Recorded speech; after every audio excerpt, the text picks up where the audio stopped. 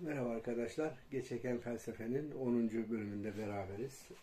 Bu biliyorsunuz e, Diyanet'in gençlere yönelik çıkarttığı bir dergi e, ve orada e, düşünüyorum o halde diye devam eden bir köşe başlığı var. Bunu özellikle çok önemsiyorum ben. Yani Selma Hocam 2004'te bir Çorum İlahiyat'tan mezun olan bir arkadaşımız buranın editörlerinden böyle bir projeyle geldiği zaman başlığı ne koyalım falan diye bu aklıma geldi benim. Biz Çorum İlahiyat Fakültesi'nde kronolojik okumalarımızı yaparken e, problematik e, olarak da okuyoruz. Yani bunu da felsefe Anadolu'da yeniden nasıl yurtlandırabiliriz diye okuduğumuzu biliyorsunuz. Farabi'den hareketle. Onun asli yurda felsefeyi geri getirmesinden hareketle okuyoruz. Biz ben bu e, 3 yıl kadar ODTÜ e, felsefede okudum. İşte o e, soruyorlar peki sonra ne oldu? Set teori 2 dersinden dolayı bırakmıştım. İşte Theo Grunberg hocadan Allah hayırlı ömürler versin. Metot üzerine konuşma adlı e, şeyi e, klasik metni analiz ederken onun modern düşüncedeki etkisini, epistemik temellerini, modern e, yani Batı felsefesinde etkilerini falan uzun uzun konuşuyorduk. Ben dedim ki hocam Tamam ama bizde El Munkız Milat Dalal diye bir eser var. Kronolojik olarak bu ondan çok daha önce falan diye. Ee, sonra o metni getirmiştim. Örneklerin bile ne kadar birbirlerine benzediğini gördük. İşte biz Çorum İlahiyat Fakültesi'nde klasikler merkezli işte ilimlerin sayımıyla başlıyoruz. El Munkız Milat Dalal ile Fasul Makalle, Tedbirul Mutavahhid'le yeni baskısını yaptık. Tasihli redaksiyonunu. Ee, bunları okuyoruz. Son olarak da bugünkü e, sohbet konumuza gelelim. Biz e, mezun verirken Haybin Yaksan'la e, gençleri mezun ediyoruz. E, özellikle staja gidiyorlar. Staja gittiklerinde de bu metnin onlara çok faydası olduğunu söylüyorum. E, kendi kendine felsefe, cevapları aranan sorular e, Haybin Yaksan diye. Bu e, bunun üzerine şey yapıyoruz. Bunun bir de tabii çocuklara yönelik e, şeyi var. E, boyutu var. Çocuklar için felsefede bu Doğu Batı e, klasiklerinden hareketle ve İslam felsefesinin klasiklerinden hareketle okuyor. Orada da Haybin Yaksan en önemli e, şeylerden birini ifade ediyor. Bugün TÜBİTAK Bilim Şenliği bağlamında Çorum e, şey e, Çorum Milli Eğitim Müdürlüğü'nde bir seminer vereceğiz ekip arkadaşlarımla birlikte. E, sonra da e, pazar günü sabahtan akşama kadar atölye çalışmalarımız var. Mustafa Özcanbaz arkadaşım eşliğinde. Şimdi biz şöyle e, diyoruz. Bu kendi kendine felsefe tabirini oldukça önemsiyorum ben. Bu e, cevapları aranan sorular ve Haybin Yaksan diye. Bildiğiniz üzere bu düşünürler ulaştıkları hakikat tasarımlarını insanlara anlatırken hitabet, belagat e, yöntemini kullanıyor. Özellikle Türk düşüncesi, Türkler bu şiir de bu e, işte şifahi kültürümüzde şiirin ne kadar önemli olduğunu da biliyoruz. Çünkü niye? İnsanın doğası gereği e, farklı donanımda farklı anlama ve e, kapasiteleri var.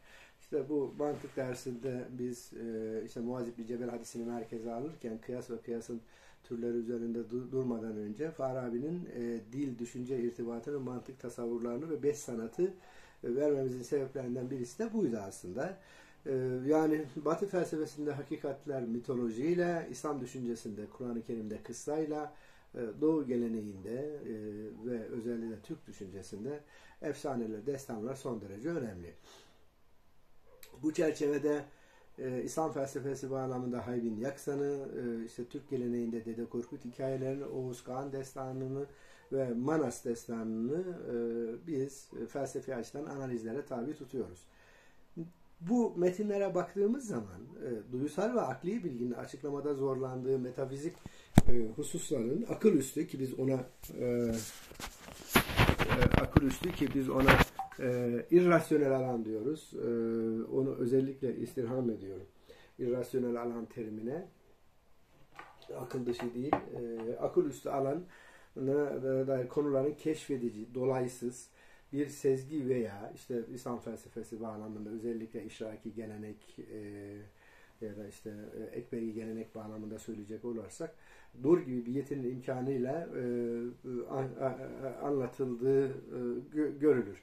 Bize göre Müslüman filozoflar e, Greklerin kadim geleneklerini e, Helem e, kadim gelenekleri Helenistik felsefe ile evrenselleştirme çabalarını Hz. Muhammed Aleyhisselam'ın getirdiği yeni sistem bağlamında okumuş ve İslam felsefesi bağlamında yeniden üretmişlerdir. Biraz bunu açalım müsaade ederseniz. Büyük İskender ve Aristoteles'in yaptığının benzerini bize göre Farabi yapmıştır. Onu e, daha bir üst aşamaya taşıyan İbn Sina'dır.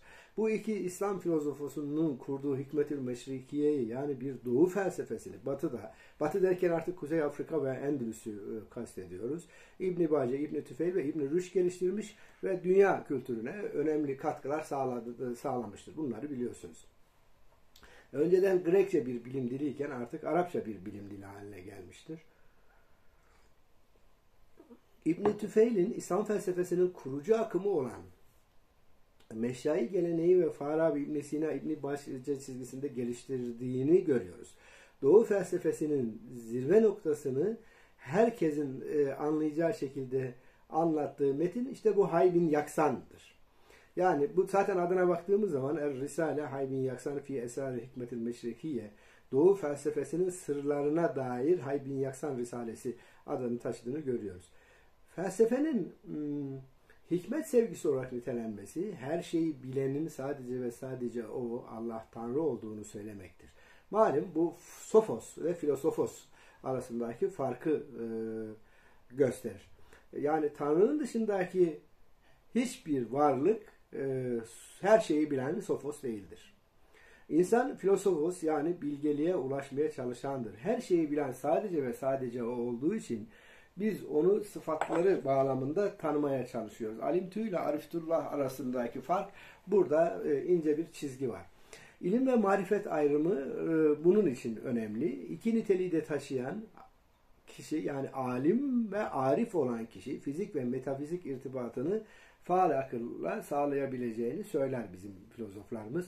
Bu son derece girift olan rasyonalizm, empirizm tartışmalarına ya da nominalizm tartışmalarına girmeden Evrenin yaratılışı, oradaki düzen, kozmoloji ve tele, teleolojik delilleri sade bir dille nasıl anlatacağımız üzerine düşünmek e, gerekir.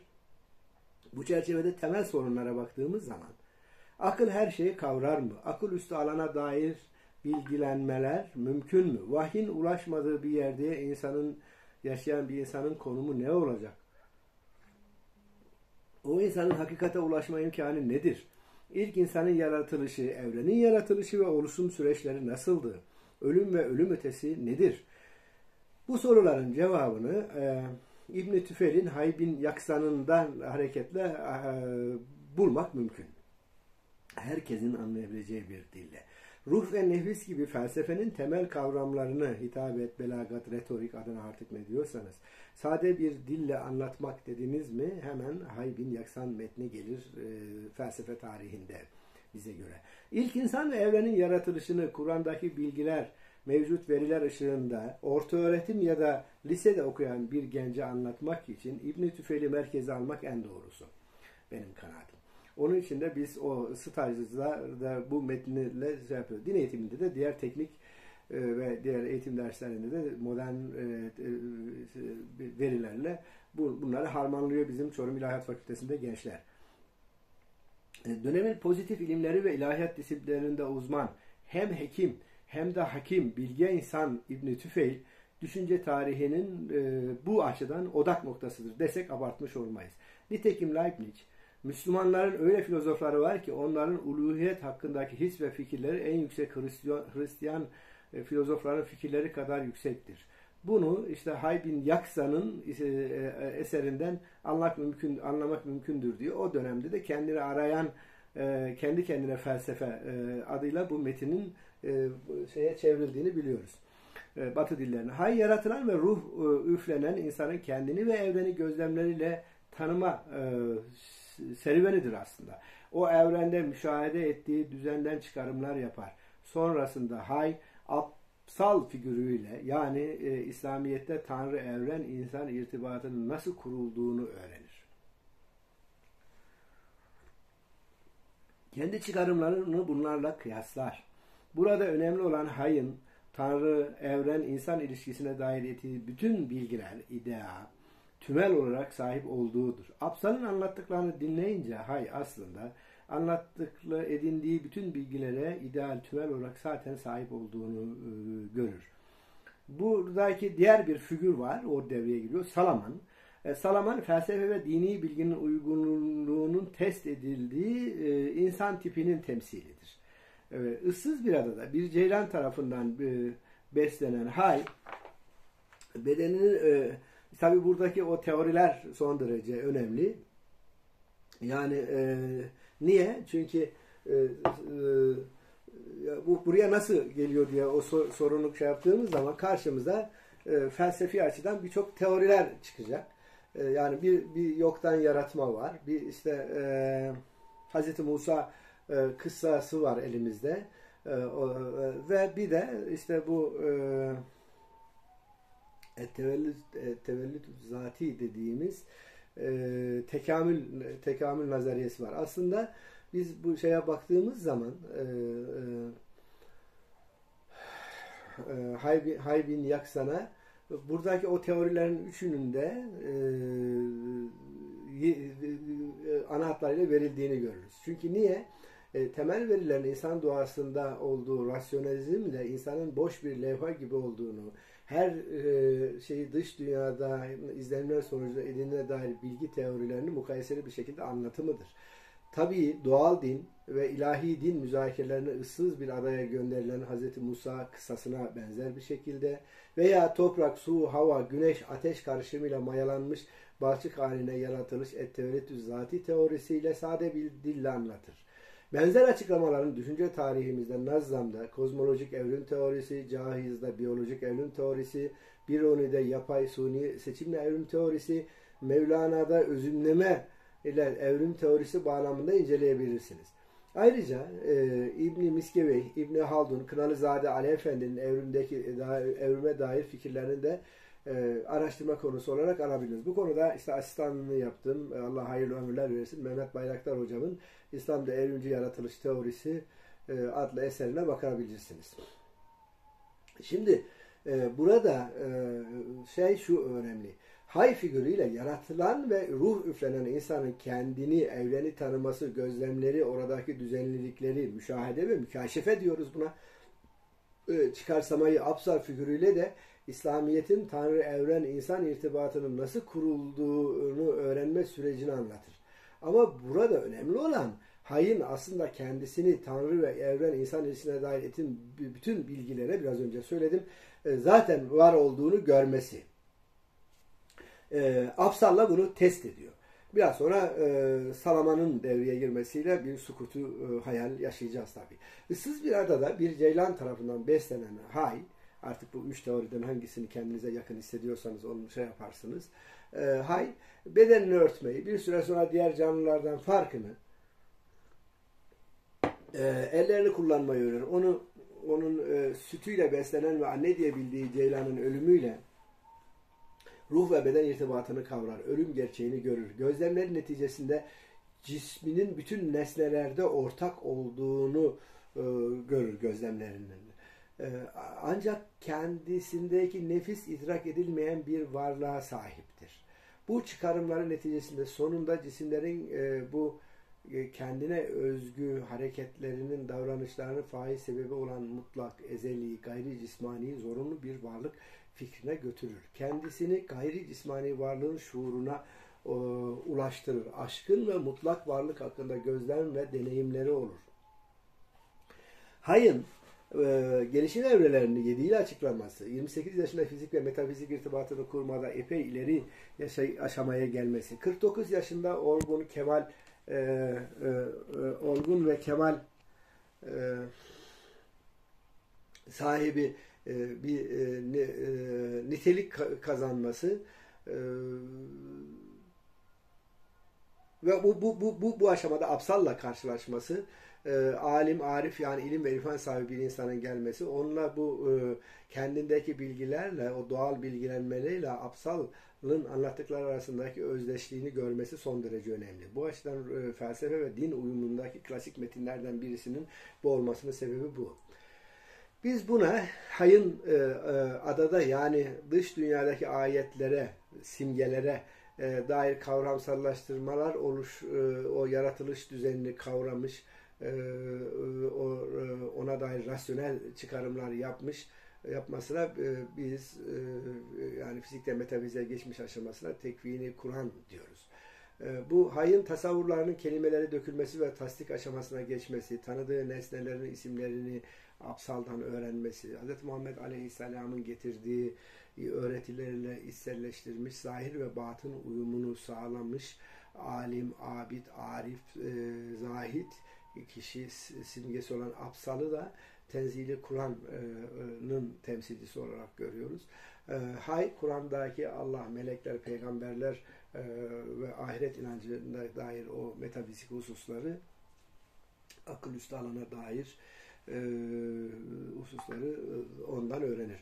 Bunların gerçekliklerini kendi akli çıkarımların neticesinde uyuştuğu için hemen hemen hemen kavrar e, felsefe ve dini hakikatin aynı olduğu, insanın doğal bilgilenme süreciyle, aklı selimle ulaştığı bilgilerle vahiy verilerin aynı hakikatin iki ifade tarzı olduğunu görürler. Hemen Apsal'ın şeyine gidip anlatmak isterler büyük bir coşkuyla. Niye? Çünkü e, bu uyumu görmüşlerdir. Ee, orada Apsal'ın arkadaşı Salaman vardır. Salaman iyi bir yöneticidir, iyi bir, iyi bir hukukçudur. Ee, dinin zahiri boyutunu temsil eder. Ulaştıkları sonuçları onlara anlat, onlara anlatınca insanların da mutlu olay onun vasıtasıyla anlatınca mutlu olacağını düşünür. Düşünürler ama öyle mi olur? Ee, Hay Apsal ile birlikte Salaman tarafından yönetilen yere gider. Büyük bir heyecanla ulaştıkları akıl ve vahiy, felsefe ve dini, zahir ve batın uyumunu anlatmaya başlarlar. Ama şehrin körü körüne alışkanlıklarına bağlı insanları anlattıklarını pek de hoş karşılamazlar. Platon'un mağara karanlığında sendelerler. Bu durumda içeride hala tutsak olanlar tarafından aptallık olarak değerlendirilir. Onların durumuna gülerler. Yolculuğun onları mahvettiğini düşünürler ve dediklerine asla hiç dikkat etmezler. Hatta vazgeçmezse canlarından olacağını da e, söylerler. Salaman da onları uyarır. Onlar da bu uyarıya e, uyarıyı dikkate alarak geri adalarına dönerler. Şimdi e, son söz olarak şunu diyebiliriz. Bu e, düşünce tarihinde belki de ilk diyebileceğimiz bu felsefi romanın etkisi Bacon, Francis Bacon'ın Yeni Atlantis'inde, Rousseau'nun Emile'inde, Thomas More'un Ütopyası'nda, Daniel Defoe'nun Robinson Crusoe'sunu da görebiliriz. Ama e, e, benim için e, e, yani o Spinoza'yı ben son derece önemserim. Spinoza'nın felsefesini incelediğimizde de Haybin Yaksa'nın etkisini görebiliriz. Peki günümüz felsefesi açısından, eğitim açısından söyleyecek olursak bir insanın gelişim süreçlerini Piaget ve ihtiyaçlar hiyerarşisi, Maslow nelerdir ve öğrenciye e, anlayabileceği bir şekilde nasıl anlatılır denildi mi? Klasik e, İslam felsefesi bağlamında Haybin Yaksan gelir diyorum. Hepinize esenlikler diliyoruz.